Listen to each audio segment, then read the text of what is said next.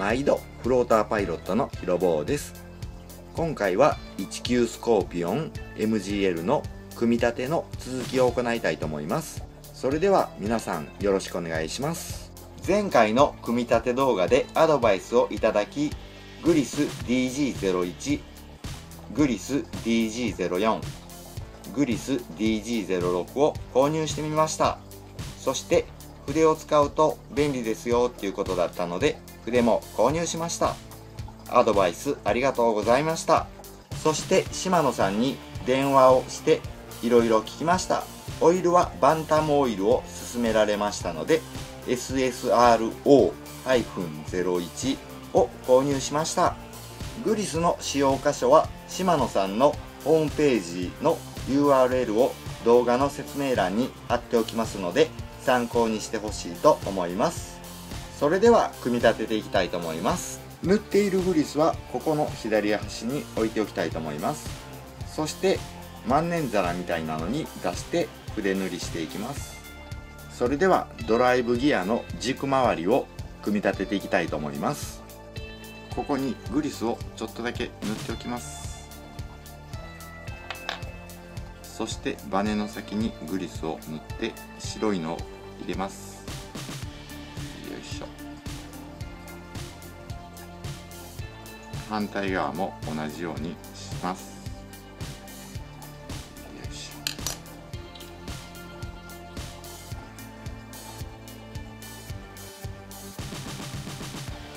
ょ。こういう感じで組めました。そして穴に入れます。よいしょ。こちらのパーツは表と裏があるのでこちらの穴が少し大きくなってる方を穴が大きくなってる方をこちらに向けて入れます。よいしょ。パチッと入りました。またグリスをちょっとだけ塗っておきます。そして入れます。またグリスをちょっとだけ塗っておきます。よいしょ。このパーツも表と裏があるのでこっちのピカピカ綺麗な方をこっちに向けて入れます。そしてまたグリスをちょっと塗っておきたいと思います。よいしょ。そして入れます。このちっちゃいワッシャー2枚入れます。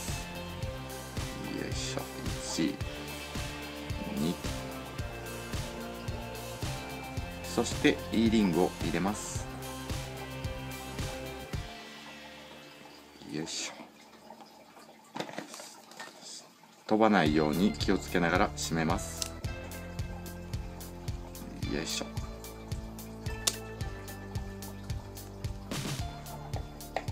先ほど2枚ちっちゃいワッシャーを入れたのを軸に対してど真ん中にセットします。こういう感じでワッシャーがずれてしまうと変なことになることがあるので必ずど真ん中にセットした方がいいと思います。それではまたグリスを塗っておきます。よいしょ。こちらにも塗っておきます。よいしょ。そして真ん中にセットされているのを確認してから入れます。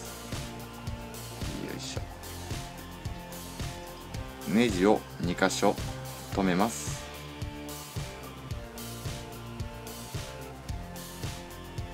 そしてまたグリスを塗っておきたいと思います。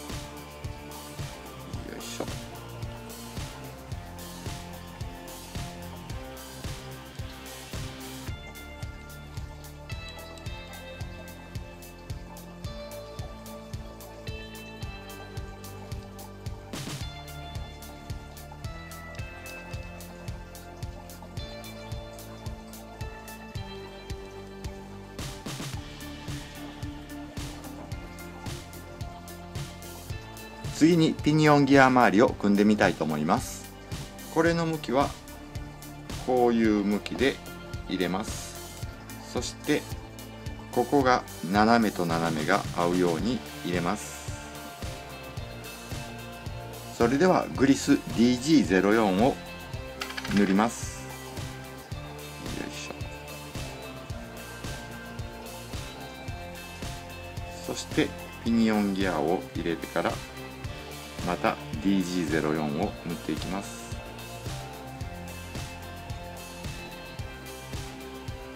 DG04 を塗ってみたいと思います。よいしょ。そして入れてみます。よいしょ。こういう感じで入りました。次にドライブギア周りを入れていきたいと思います。それでは DG04 をここにちょっとだけ塗っておきたいと思います。そしてこのパーツを入れてみます。よいしょ。パチッと合いました。次にドラグワッシャーに DG01 を塗ってみます。よいしょ。塗る量は最初に組んであったような感じで塗ってみたいと思います。よいしょ。どうでしょうか。使ってみてっていう感じでしょうね。よいしょ。分解した時はこれぐらいだったと思います。入れてみます。よいしょ。そして入れてみます。よいしょ。また DG01 を塗ってみたいと思います。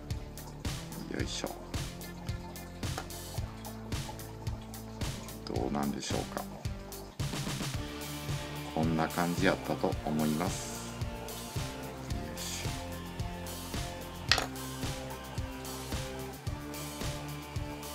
あまり塗りすぎると滑るんでしょうか。そして入れてみます。入れます。よいしょ。ドライブギア周りに DG04 を塗っていきます。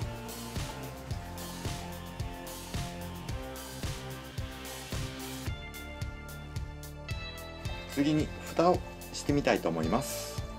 まずはバネを入れておきます。よいしょ。そして一旦ローラーベアリングのこれを取ります。そしてここに入れます。こういう感じでカチッと入りました。ずれているとこういう感じなんですけどもカチッと入りました。そして蓋をしたいと思います。よいしょ。カチッと入りました。蓋を一旦開けてから4箇所ネジ止めしたいと思います。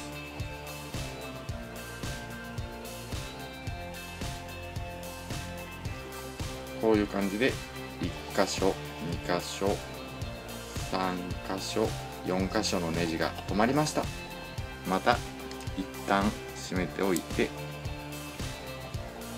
それではスプールキャップ周りのベアリングを組んでいきたいと思います。ベアリングを入れます。よいしょ。そしてオイルを少しさしておきます。白いのを入れます。ベアリングを入れます。よいしょ。オイルをさしておきます。そしてこれを飛ばさないように入れます。よいしょ。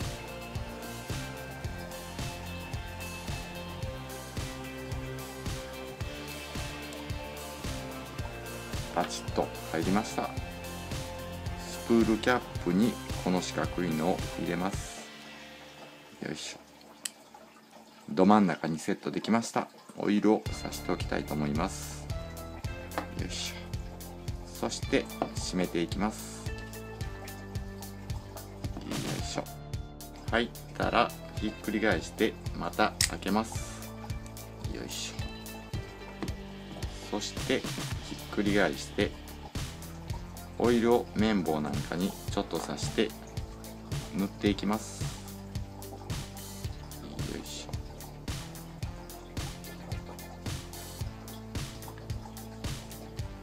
一旦置きます。オイルをちょっとさしておきます。よいしょ。そして入れます。しょそして締めておきます。よいしょ。次にここまでのパーツを組みたいと思います。ローラーベアリングのインナーチューブが奥まで入っているか確認します。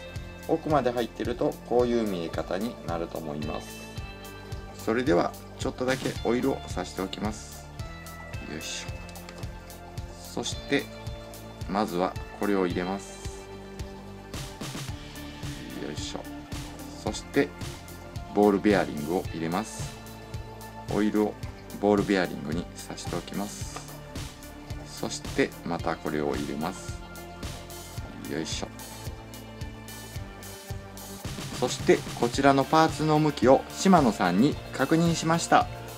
こういう向きが正しいみたいです。なのでこれがこう向きでよいし。ょこちらがこう向きです。よいしょ。そしてオイルをちょっとだけさしておきます。よいしょ。入れます。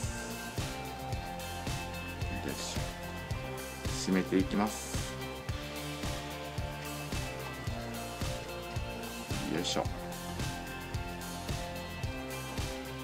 ハンドル周りを組んでいきたいと思います。まずはバネを入れる前にこれを入れて位置決めしておきます。こういう感じで奥までカチャッと入る位置でセットしておきます。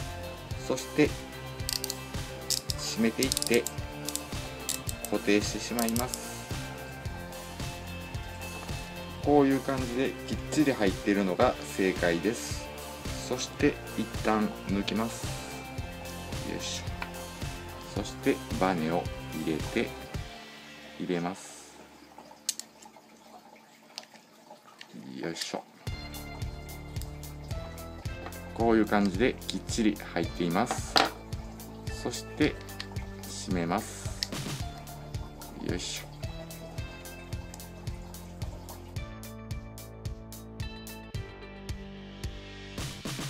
こういう感じでピッカピカになりました。やったね。クラッチもいいですね。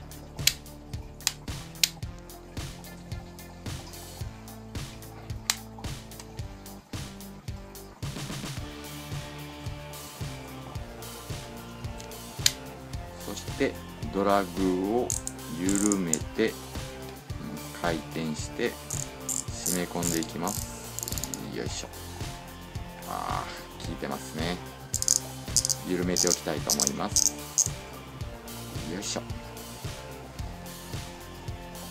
それではまたこき使ってみたいと思います。ご視聴おおきに。